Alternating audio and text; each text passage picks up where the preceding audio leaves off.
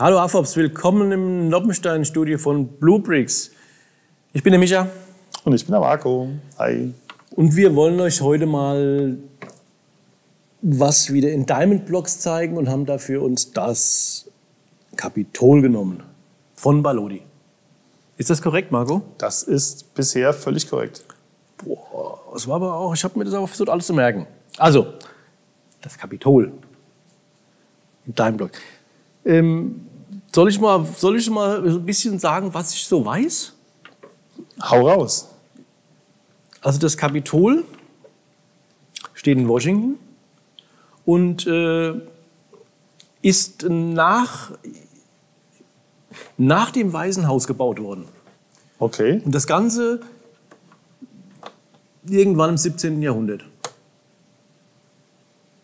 Kann sein. Ja, glauben. Und, ähm, ich, mein, ja. und im 18. Jahrhundert haben sie es nochmal größer gemacht. So viel habe ich, äh, meine ich, rausgefunden und weiß ich. Ähm, Ist der Sitz des US-Kongresses, wenn ich mich nicht irre? es sind viele Sitze drin. Also sind, äh, also ich glaube alleine äh, 560 Räume. Also Sitze, Okay. Sitze. Jede Menge Sitze. Und irgendwie war es Anfang Januar auch mal einen Tag für Besucher geöffnet, aber das war nicht so schön. Ja, das haben sie dann wieder gelassen. Ja, apropos Besucher, ich meine, ich meine in das, in das, äh, in das Ding hier kommen jährlich drei bis fünf Millionen Besucher.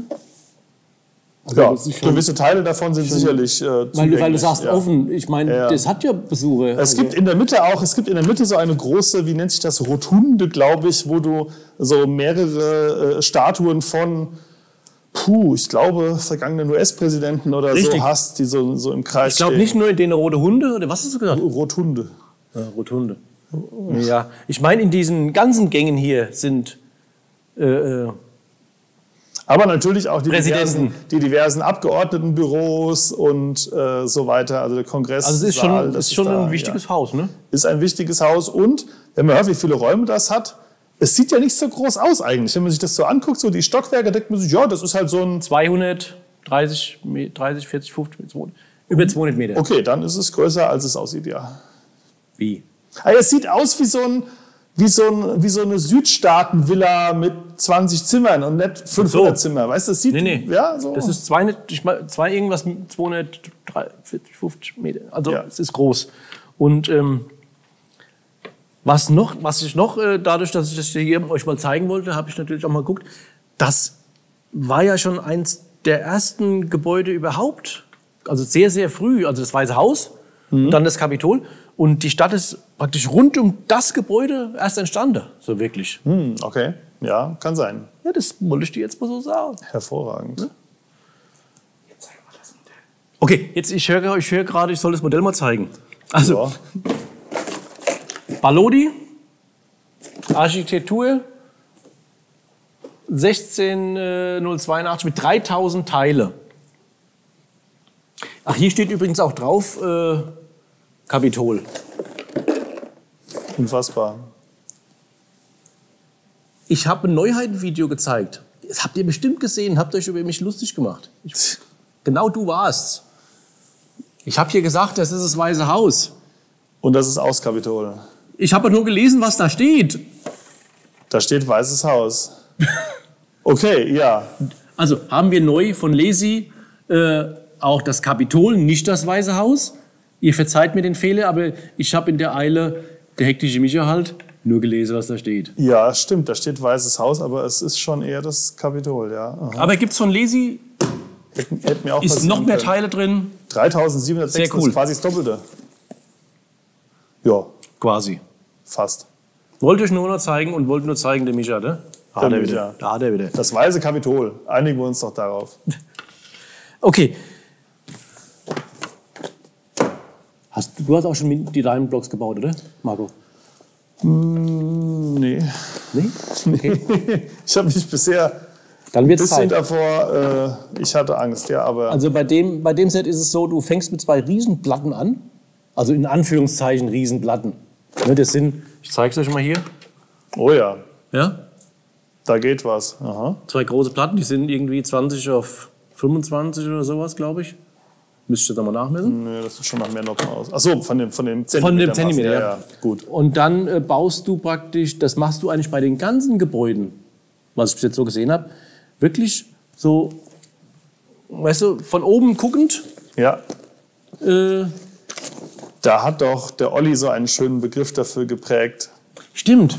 Äh, 3D-Drucker aus Fleisch. Ja, also recht cool. Du, du baust praktisch von unten nach oben. Das ganze Gebäude wächst Ja. und wächst von unten nach oben. Du siehst, was du baust, ist äh, farblich ein äh, bisschen heller dargestellt. Und du hast Rest keine Teilekästen, das heißt, du musst im Bild sehen, was gebaut wird. Ich muss zurück, ich habe wieder kurz auf dem Schlauch gestanden, was Teilekäste, das Ja, diese, mir, diese, dieses, dieses, gemerkt. kleine, dieses kleine Bild in der linken oberen Ecke. du hast mir oder noch so. nie gesagt, dass das Teilekäste heißt. Ja. Ähm, und weißt du was? Ja. Habe ich dir doch, habe ich, das glaube ich, habe ich dir gezeigt? Oder habe ich es jemand anderem gezeigt? Es gab mal ein Video, da habe ich mal eine alte Lego-Bauanleitung von 1984 herausgeholt. Das mir Die, gezeigt. genau, mit dieser Lego-Burg. Ja. Und da gab es auch keine Teilekästen. Da gab es nicht nur keine Teilekästen, damals waren auch die alten Sachen nicht ausgegraut oder so. Äh, gut, es war alles grau, es war eine graue Burg. Und die Mhm. neuen Teile waren auch nicht farblich umrandet. Da hat man wirklich Bild für Bild suchen müssen, was hat sich denn jetzt hier geändert? Ah, da ist ein Zweier dazu gekommen. Das Und war- das ging auch. Ja. Sechsjährige Kinder haben diese Burg aufgebaut. Ich sag's dir, damals. Da Damals waren die Gummistiefel noch aus Holz. Ja, und das Tote Meer noch krank, genau. Aber, also, es ist, man kann sowas bauen. Ich meine, es ist nicht, es ist keine unlösbare Aufgabe. So, dann schauen wir uns das doch mal an. Also diese, diese Diamond-Geschichten, das ist auch immer, also ich sag mal, fast immer eine sehr stabile Geschichte. Dadurch, dass du viele kleine Teile hast äh, und das alles dann sehr kompakt ist. Ich meine, wir bauen, wir bauen hier 3000, ne, wie viel? 1600 Teile? Quatsch. 3000 Teile. Wie kommst du eigentlich drauf, dass das doppelt so viel hat? Weil ich mich geirrt habe. Weil du gedacht hast, die Herstellernummer. Das sind 3100 und das andere sind 3600 genau. irgendwas, 900, So, ja gut. aber dadurch, dass das hier 3000 Teile sind, hast du eine Komplexität und eine, eine Steifheit an dem Gerät. das ist schon kompakt, ja, ja. Ist fein, ne? Ähm, natürlich haben die Sets keine ähm, modulare Geschichte oder sowas. Also das Ja, ist gut, klar. Das ist zum Das Hinstellen. von so einem Setup auch Das ist nicht. zum schön Aussehen. Das ist vor allen Dingen ist das erinnert mich das Bauen solcher Sets immer an ja einfach an Puzzle, an Kniffeln, an Ja, ja Gut. Ist ja wie bei unseren, bei unseren Bluebricks Pro Hunden, von denen da auch hinten auch einige stehen. Hm? Das macht auch vielen Leuten Spaß. Das ist auch Schicht für Schicht. Das ist auch ein, ja, es ist wirklich noch näher an einem 3D-Puzzle als äh, normale Standardteile, weil die Teile halt, weil es nicht so viele unterschiedliche Teilearten gibt. Margot, die Checker-Figuren, das beste Beispiel. Ja. Die man noch miteinander, wo man noch die Schichten miteinander verschraubt. finde ich finde das extrem cool, wenn Leute das bauen und da, äh, da Bock drauf haben. Ja. Weil das ist dann schon auch ein Geduldsspiel und ein, das, aber das Es gibt, von, es gibt von Jacker ja auch, ja auch äh, Sachen, die haben wir bisher noch nicht bestellt, weil die dann auch pro Stück ziemlich teuer sind. Es gibt ja diese, beispielsweise diesen T-Rex. Den gibt es in klein und den gibt es in mittel und den gibt es in groß. Und mit groß meine ich Nicht Originalgröße. Anderth, nee, aber anderthalb Meter lang. Das ist, das ist dann eine, eine Skulptur, die stellst du nicht mehr auf ein Regal, die stellst du auf den Boden. Ja, aber das ist eine Lebensaufgabe, oder? Das ist das. ja, tatsächlich. Und das kostet dann halt auch mehrere hundert Euro. Das ist richtig, richtig teuer. Rechnen Sie, rechnen Sie aber glaube, mal es in kann sogar sein, dass es Bauspaß. vierstellig ist. Also wir haben das, wir haben das gesehen, wir haben es aber noch nicht bestellt. Das ist und halt rechnen das in äh, Baustunden um. Und dementsprechend, ähm, wenn du da mehr investierst an, an, an Zeit und Geld, das gerecht, rechtfertigt ja auch, dass du am Ende dann so ein Oschi hast. Genau. mit, keine Ahnung, 15.000 Teile. Aber zurück nach Washington. Das Dach ist blau, das ist Ja, ungewöhnlich. das Dach ist nicht blau, das aber- ist weiß. Ist aber ein Farbtupfer. Du meinst hier? Das Dach, das, das Ja. Dach, ja, das Dach auf dem Gebäude ist blau. Das, äh, Ja, Ist- bei dem, bei dem Set dem von ist es grau, ne? Lesi ist es äh, ja, weiß-grau, keine Ahnung. Und da bei dem Set von Lezi ist das Dach flach und bei dir hat es schon noch so ein. Äh, Hol doch gerade mal die Rückseite von dem, oder von dem Lezi-Set, da ist bestimmt ein Originalfoto dabei. Da gucken wir doch einfach Nee, nicht- mal. nee, nee. Hier nicht, bei dem anderen ist aber, glaube ich, eins. Ah ja. So. Ja, gut. Äh, Sieht siehst du jetzt das halt nicht. trotzdem nicht. Genau. Aber man sieht, dass es ein großes Gebäude ist. Ja.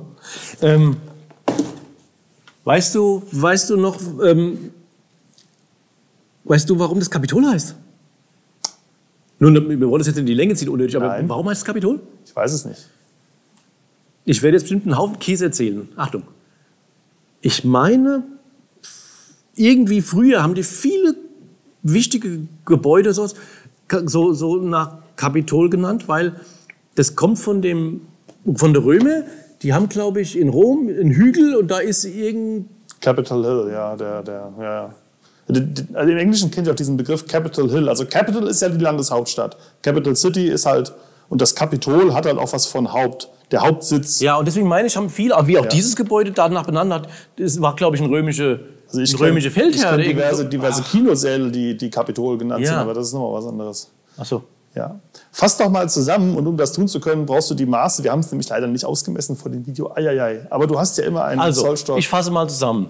Das dir. ist das US-Kapitol aus Diamond Blocks von Balodi, die 16082 mit 3100 Teile für 24 Euro. Ui. Das Ganze hat 40 Zentimeter in der Breite, 20 Zentimeter in der Tiefe und 17 Zentimeter hoch. oh, weil er es gemessen hat. Ui. Das zum ist nicht gemessen, ne? ich habe es vergessen, aber du hast es gemacht. Super. Die Bauerei bei den Diamond Blocks halte ich immer noch für ja, ein bisschen anspruchsvoll, weil du einfach auch kleinere Teile baust. Und ich muss nochmal auf den Preis dieses Sets zu sprechen kommen. Der hat, das kostet nämlich eigentlich 39,95 und wir haben ein Kontingent zu einem Sonderpreis ankaufen können und den reichen wir weiter. 24 Euro für 3100 Diamond Blocks Das ist ich- sau gut. Ja.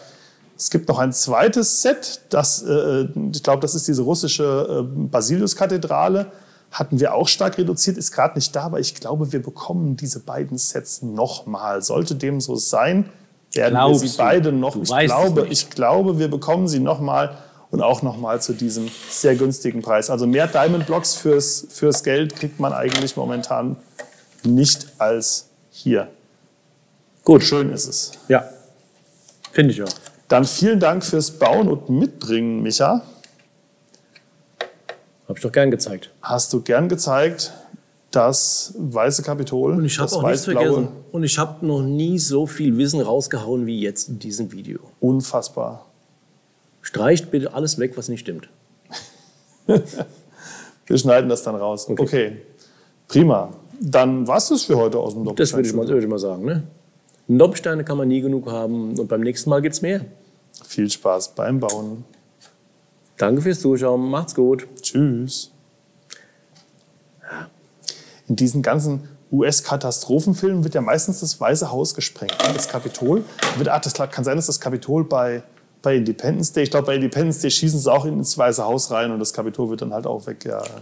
Irgendwie ist das so eine Art Lust an der Zerstörung. Man sieht so, ich, habe schon so Meinst du jetzt Filmen Kapitol oder Weißes Haus? Gesehen,